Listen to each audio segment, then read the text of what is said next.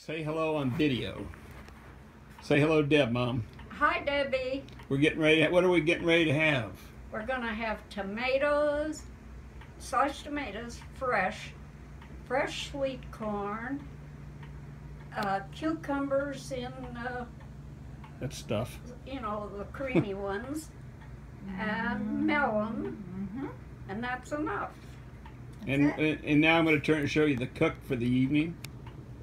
Hello, I almost called you on one of them, but I think I got it right.